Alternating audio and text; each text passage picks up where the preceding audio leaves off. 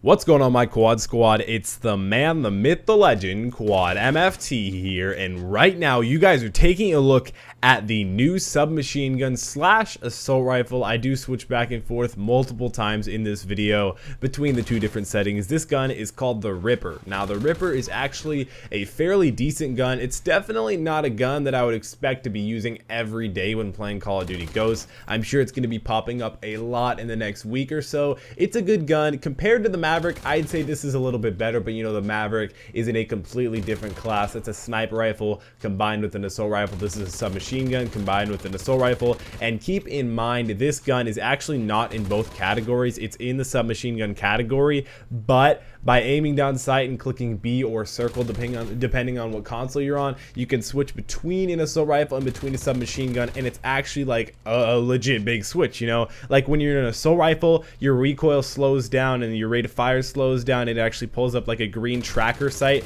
that you guys will see me pull up multiple times in this gameplay. And when you're using a submachine gun version you actually won't have the tracker sight it'll just be an iron sight. The iron sights are okay.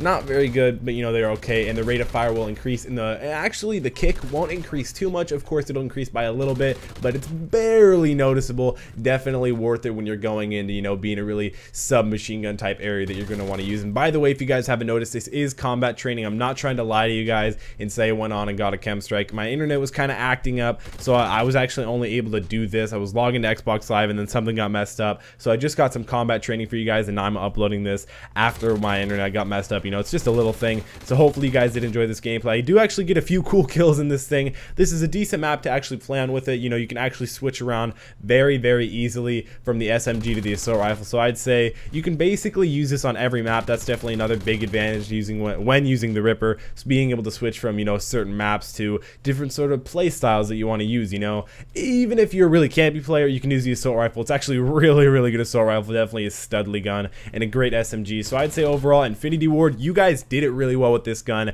This is definitely an A of a gun. You know, I wouldn't say that this is going to be a gun that's going to take over Call of Duty and say this is some amazing thing. And by the way you get this gun, you have to have the season pass or at least have entered it previously.